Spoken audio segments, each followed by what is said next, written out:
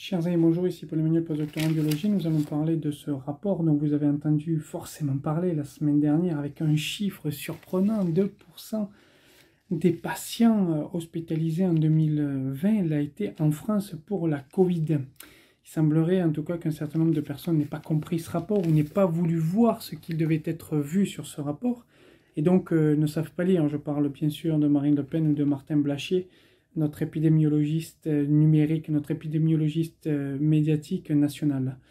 Je vais donc vous lire un certain nombre de chiffres que j'ai relevés du rapport et vous donner mes conclusions. Alors, il faut savoir que ce rapport a été fait sur quatre champs hospitaliers qui ont été pris en compte les prises en charge de pathologies aiguës et de court séjour, les MCO, les hospitalisations à domicile ou HAD, les soins de suite et de réadaptation SSR et les soins de psychiatrie. Allons-y pour les chiffres et vous verrez que nous allons arriver très rapidement à ce chiffre de 2%, mais que nous allons mettre en relation avec les autres chiffres du rapport. Et bien sûr, il va prendre un autre sens complet. Premier chiffre, 218 000. 218 000, c'est le nombre de patients qui ont été hospitalisés pour la prise en charge de la Covid-19 en 2020 en France. Je précise que euh, tout ce dont je vais parler, c'est pour la Covid, c'est toujours en 2020, c'est toujours hospitalier, c'est toujours en France. Ces 218 000 patients représentent 2%, donc nous arrivons à ce chiffre de l'ensemble des patients hospitalisés tout champ hospitalier confondu. En moyenne, leur durée de séjour, et là ça commence à devenir un peu plus intéressant et un petit peu plus combatif, est de 18,2 jours. Le total fait donc 4 millions de journées d'hospitalisation, soit, et ça c'est moi qui fais un petit calcul simple, 10 959 années. 20% de ces patients sont décédés, donc 20% des 218 000. Les patients Covid représentent au niveau des décès 11% des décès hospitaliers. Et là, on a déjà une première mise en relation. 2% des patients hospitalisés, dont, mais représentent 11% des décès totaux à hospitalier. Il représente aussi 1% des soins psychiatriques.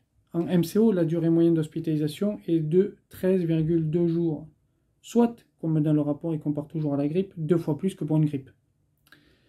En MCO, les décès Covid représentent 12% de ces décès totaux et 25% des patients Covid en MCO étaient pris en charge dans une unité de soins critiques un quart des patients Covid ont été pris en charge dans une unité de soins critiques, un quart qui passe d'abord en MCO. Le taux de décès Covid des patients mis en réanimation représente 28% totaux des décès hospitaliers. C'est pas rien tout de même, presque un tiers. Les patients Covid représentent 20% des journées d'hospitalisation en réanimation. On va remettre en relation avec le chiffre de 2%, ils représentent 2% des hospitalisations, mais 20% des journées d'hospitalisation en réanimation ce qui représente 11% de ces patients, avec une moyenne de prise en charge de 15,7 jours, soit, puisqu'on compare toujours à la grippe, un tiers de plus que pour la grippe. Le nombre de patients Covid en cours d'hospitalisation a été maximal le lundi 6 avril. Et là, nous allons entrer dans les vagues et vous allez voir la définition qui donne d'une vague hospitalière. Alors, le lundi 6 avril, nous avons un nombre de patients Covid en cours d'hospitalisation qui est maximal sur l'année 2020, c'est-à-dire un peu plus de 35 000. Je dis un peu plus parce que les, graphes vont de 5000 à 5000 et qu'il est difficile de voir exactement, mais on est peut-être à 35 200, 35 300. En tout cas, c'est pas noté dans le texte, je vous note un peu plus de 35 000.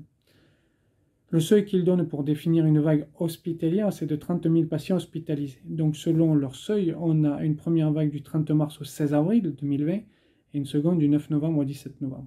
J'ai envie de vous noter dans cette vidéo que on se souviendra qu'il y a eu deux confinements en France en 2020 du 17 mars au 11 mai et du 30 octobre au 15 décembre.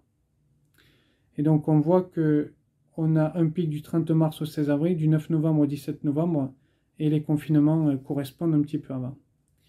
Le nombre de décès hospitaliers des hum, patients Covid est maximal le vendredi 3 avril avec 583 décès. Le nombre de décès et maximal des hôpitaux le, vendredi 3 avril, 583 décès. Il faut savoir qu'entre le 27 mars et le 15 avril, le nombre de décès hospitaliers des patients Covid dépasse les 400 000 quotidiens et du 25 octobre au 31 décembre, on a plus de 200 000 euh, décès quotidiens, ce qui n'est pas rien tout de même.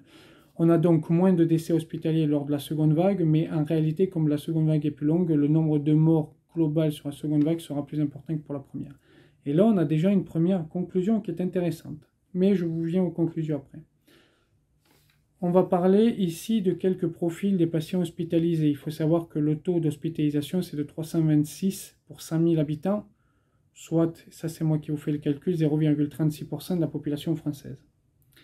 Ce taux est de moins de 100 pour 100 000 chez les moins de 35 ans, de moins de 200 pour 100 000 chez les moins de 50 ans, ce qui commence déjà à faire, ceci dit, de 316 pour 100 000 chez les 50-64 ans, de 597 pour 100 000 chez les 64-74, et on est à euh, 4241 pour 100 000 chez les 95 ans et plus. Donc on voit qu'il y a une gradation avec l'âge. En moyenne, ce taux est plus élevé chez les hommes que pour les femmes. Il est de 354 pour 1000 pour les hommes et de 301 pour 1000 pour les femmes. Il n'y a pas de différence puisqu'on compare toujours la grippe d'hospitalisation, taux d'hospitalisation pour la grippe euh, entre les sexes qu'on constate ici pour la Covid.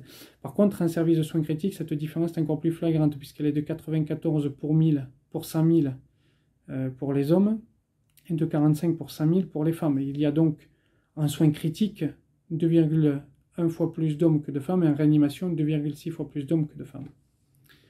Parmi les patients hospitalisés, le taux de décès, alors pour la Covid, toujours pareil, le taux de décès est de 10% chez 60-69 ans, 20% chez 70-79 ans et 33% chez 80 ans et plus. Là maintenant, on va venir aux comorbidités. J'en ai donné deux qui sont intéressantes. La recherche a montré qu'il y avait 18 comorbidités potentielles qui ont été identifiées. 72% des patients, ça c'est dans le rapport hospitalisé, présentaient une ou plusieurs comorbidités préexistantes associées à un risque de forme grave de la Covid. On a beaucoup parlé des problèmes cardiovasculaires qui sont essentiellement dus à l'âge, mais moi j'ai envie de vous parler de deux qui sont dus à la nutrition et pour moi donc euh, à la classe sociale de l'individu. La première, c'est l'obésité. Obésité, donc en général, quand on mange mal, quand on a une diète pas équilibrée, quand on mange beaucoup de graisse et de sucre, on devient obèse. Là, ça représente 11% des patients Covid et 22% des hospitalisations en soins critiques. Et ensuite, un point dont on n'a jamais parlé dans les médias, et qui me paraît absolument hallucinant en France, et qui représente pour moi la pauvreté, mais c'est qu'une interprétation, vous me direz votre interprétation dans les commentaires, c'est la dénutrition. La dénutrition 2020 en France, qui représente 19% des patients Covid hospitalisés et 20% des hospitalisations Covid en service de soins critiques. Voilà les chiffres dont je voulais vous parler. Il y en a beaucoup d'autres dont je n'ai pas parlé, et notamment euh, la, différence qu'il y a entre les MCO, les SSR, etc., qui est pris en premier, qui est pris en second, tout ça. Ce n'est pas forcément des chiffres très intéressants. Le chiffre qui était le plus sorti ici, c'était 2%, et on voit que ce 2% est à mettre en relation avec le fait que ces 2% représentent 11% des décès et 20% des journées en réanimation. Ça n'est pas rien. Ce que montre ce rapport, finalement, c'est que lorsque l'on regarde les décès par rapport à les vagues de décès, les vagues d'hospitalisation, par rapport au confinement et aux barrières sanitaires qui ont été mis tout, tout ce qui était dans le sanitaire, les ports du masque, les distances sociales. Alors pas encore, pas encore bien sûr la vaccination, puisque la vaccination viendra en décembre 2020 et qu'on n'a pas encore les résultats, ce, ce, genre de rapport sur la vaccination. Il faudra attendre la fin de l'année prochaine ou le début de l'année d'après. Mais Aujourd'hui, on voit que en fait tout ce qui a été fait, toutes les mesures sanitaires qui ont été mises en place, ont porté leurs fruits. On a diminué le nombre d'hospitalisations et de décès.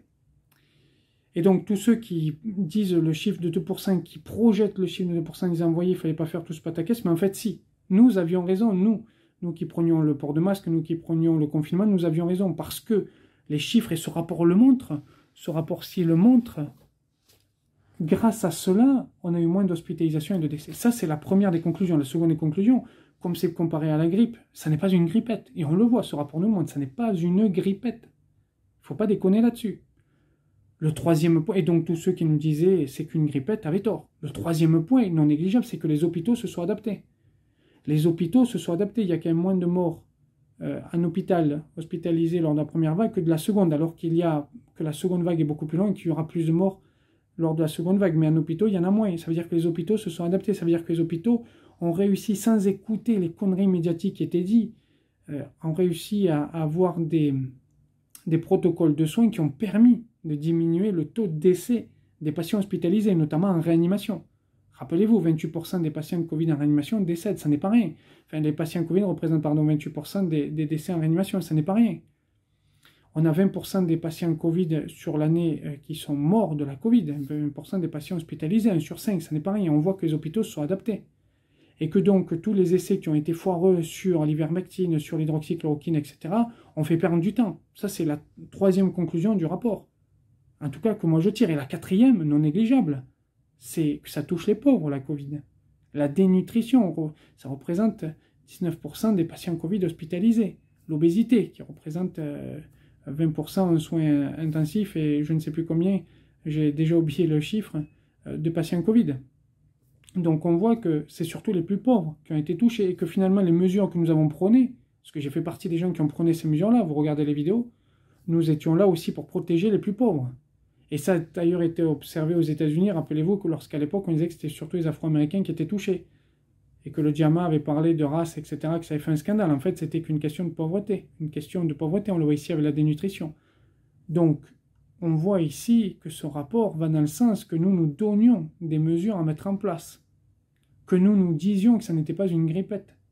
On voit comment les hôpitaux ont évolué pour avoir moins de décès Covid. Il ne faut donc pas prendre en compte les 2%, il faut prendre en compte l'ensemble du rapport et mettre en relation les 2% avec le nombre de décès et le pourcentage qu'il y a sur la réanimation. Comme à leur habitude, un certain nombre de complotistes utilisent ces chiffres sans les comprendre, parce qu'en fait, ces chiffres prouvent juste une chose, ils avaient tort. Je vous remercie, je vous dis à bientôt, n'oubliez pas de commenter, de me dire ce que vous pensez de la vidéo, n'oubliez pas d'activer la petite cloche, de vous abonner, puis si vous voulez aider la chaîne sur YouTube, vous avez tous les liens en description. Merci, au revoir et surtout, surtout, partagez-la, partagez-la, parce que c'est important qu'il y ait un autre discours sur ces 2%. Je vous remercie, je vous dis à bientôt, au revoir.